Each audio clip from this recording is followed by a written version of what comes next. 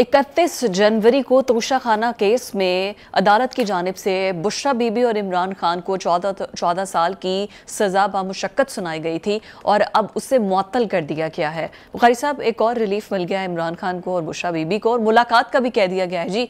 तो ये तो आज तो पी टी आई के लिए बड़ा अच्छा पॉजिटिव डे था। अच्छी अच्छी खबरें आ रही हैं उनके लिए। मेरे ख्याल से दो तीन बातें जो हैं, वो करना बहुत ज़रूरी है। मैं अवॉइड करना चाहता था इसलिए अदलिया का एहतराम हमारे दिल में है बहुत लेकिन कुछ ऐसी इनएविटेबल सूरत आ जाती है जहाँ आपको कमेंट करना पड़ा पड़ता है। देखिए आजकल ये साबित करने की कोशिश की जा रही है कि जो भी अदालत खान साहब या उनकी पार्टी के किसी लीडर के ख़िलाफ़ फैसला दे वो अदालत भी ठीक नहीं है वो जज भी ठीक नहीं है और शुरू हो जाए फिर उनके सोशल मीडिया के ऊपर जो जो बनती है उन जजेस की तस्दीक के लिए वो चाहे कोई भी अदालत क्यों ना हो। हम्म।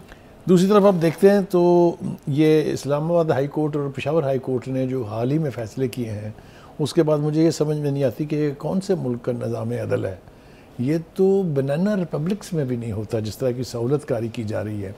वो जो इतला चल जाती थी इमरानदार जजेस हम्म। वो नहीं दिल करता कि कहा जाए अदालतों को अदालतें काबिल एहतराम होती हैं।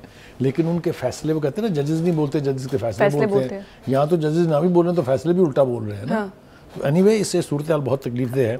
दूसरी बात यह कि मुझे ये समझ नहीं वो सारे जजेस वो सारे जजेस जिन्होंने ये फैसले दिए हैं जो अब उल्टे जा रहे हैं क्या वो सारे बिके हुए थे? क्या तमाम अदालतों के जजेस जो है वो बिक चुके थे? यही तासर देने की कोशिश की जा रही है ना कि फैसले गलत हो रहे हैं। ओपन एंड शट केसेस के ऊपर हम्म। आप उठा के केस को बाहर फेंक दें हम्म। आप उसके अंदर जमानतों की बारिश कर दें ये तरीका कार है क्या? हम्म। ये हो क्या रहा है? मुझे तो ये समझ में नहीं आ रही। जुडिशल एक्टिविज्म ठीक है उसका रिवाज डाल गए चौधरी चौधरी साहब। लेकिन इसका कोई ना कोई एंड होना चाहिए। क्योंकि अगर अदलिया के ऊपर से कौम का अतमाद उठ गया तो मुझे बताएँ ये मुआशरा चलेगा कैसे? हम्म। अब दूसरी तरफ़ आप देखें कि जो जेलें हैं हम्म। उनको हमने या तो जमान पार्क बना दिया या बनी गला बना दिया।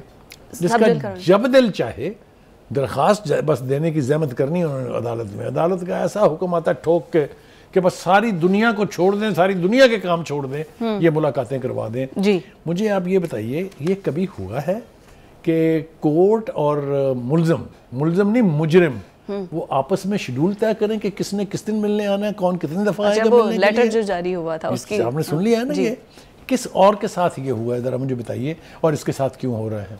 और बाकियों के साथ क्यों नहीं होना चाहिए हाँ, तो सवाल तो वालिड है ये सूरत हाल बहुत खौफनाक है अच्छा लेकिन दूसरी तरफ आप देखें बुखारी साहब जो सजा में मौतली का फैसला है ये हम प्रोग्राम में पहले भी डिस्कस कर चुके हैं इतनी जल्दी जल्दी में किसी को सुने बगैर सजा सुना दी गई थी ये आपने तब भी कहा था कि ये इनको रिलीफ मिल जाएगा क्योंकि इसमें बहुत लूप होल्स हैं और वही हुआ देखिए लूप होल्स के ऊपर रिलीफ मिल जाना और चीज़ है हाँ लेकिन ये कि अच्छा ਸਾਡੇ ਕੋਲ ਟਾਈਮ ਨਹੀਂ ਹੈ ਹਾਲੀ ਈਦ ਹੈ ਈਦ ਤੋਂ ਬਾਅਦ ਅਸੀਂ ਕੇਸ ਸੁਣਾਂਗੇ पर ਤੁਸੀਂ मुतल हाँ। ऐसे सारा सिस्टम मुतल ये भी कहीं नहीं होता है।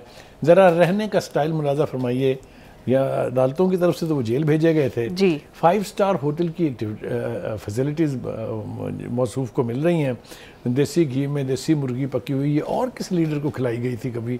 मेरी समझ से बिल्कुल बाहर है। और किसके लिए साइकिल खरीदी गई थी? तारीख में कोई है ऐसा वाक़ भुट्टो भी जेल में रहा बेनज़ीर भी जेल में रही नवाज़ शरीफ भी जेल में रहा।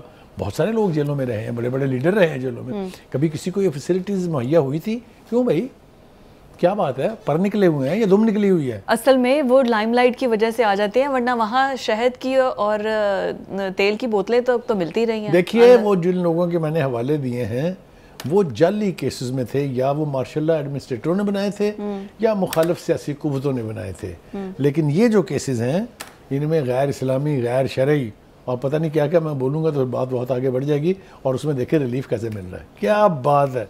Hats off to to to to the जजेस रिलीफ तो उनकी तरफ़ से मिल रहा है ना। मैं मैं बता रहा हूँ आपको कि जिसके ऊपर जितना बोलेंगे बात बढ़ती चली जाएगी और फिर उसको समेटना मुश्किल हो जाएगा। हम्म। लेकिन मेरे ख्याल से जितना हमने कह दिया यही बहुत शेर अफजल मरवत की तरफ़ चलते हैं। आते हैं जी वो तो शेर का बच्चा जो है वो पहले तो टकरता था पीटीआई के मुखालफिन को और अब हाँ। इनशाला लग रहा है ये कि माशाल्लाह वो टकरेगा खुद पीटीआई के अंदर के उन ग्रुप्स को जो सोशल मीडिया चलाते हैं जो सोशल मीडिया हैंडलर्स हैं जो यूट्यूबर्स हैं जो। उनके यानी मर्ज़ी के एंकर्स हैं टॉक शोज़ करते हैं। उसने कहा तगड़े हो जाओ मैंने अपनी टीम तैयार कर ली है और टीम की जो उन्होंने तादाद बताई उसने कहा बीस हज़ार के करीब तो बंदा मैंने उनको फॉलोअर्स के तौर पे दे देना है। हाँ जी। और बाकी 800 के करीब मैंने मरवतों को मरवत जो है ना चूँकि वो मरवत ट्राइब है हाँ जी। वो मरवत कह रहे हैं उनको उनको मैंने लगा दिया इस काम से ट्रेनिंग उनकी मैंने करा दिया है।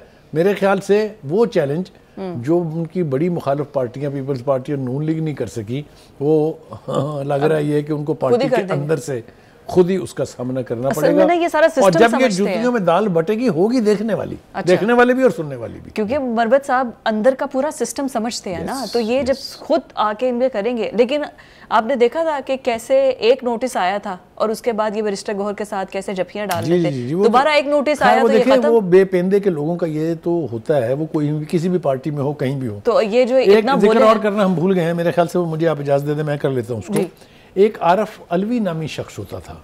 सदर पाकिस्तान की बात कर? रहे हैं अच्छा। एक्स सदर पाकिस्तान। सदर सदर पाकिस्तान तो वो होता है जो कानून के मुताबिक अपने उहदे के मुताबिक एक्ट करे। अच्छा। वो पार्टी का नुमाइंदा थोड़ी होता है वो पार्टी का वर्कर थोड़ी होता है। जी, जी। उन्होंने तो जिस तरह से अब्यूज किया है अब उनको अचानक आयन याद आ गया मुझे तो इस बात में बड़ी हैरत हाँ जी आइन की बात कर रहे हैं वो। अचानक आयन की बात कर रहे हैं वो कहते हैं ना कि रिहा करें इमरान खान को गलत हो रहा है शर्म, तुमको मगर नहीं आती। मैं इससे आगे कुछ नहीं कहूँगा। खुदा के वास्ते मिस्टर अलवी इस कॉम पर रहम करें। आप पहले ही काफ़ी ज़्यादतियाँ इसके साथ कर गए हैं।